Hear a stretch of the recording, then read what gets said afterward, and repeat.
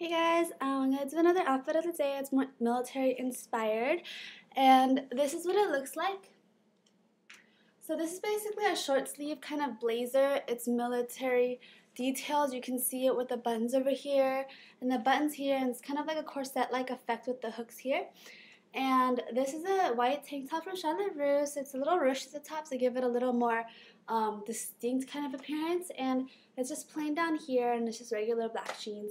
Uh, as for shoes, I'm probably going to wear the black heels I've shown you before and the Louis Vuitton purse I showed you guys yesterday. So I hope you guys have a great day. I hope you guys liked it. Um, yeah, it's pretty simple, but I mean, it looks a little more different than like your traditional uh, t-shirt and jeans. So, bye!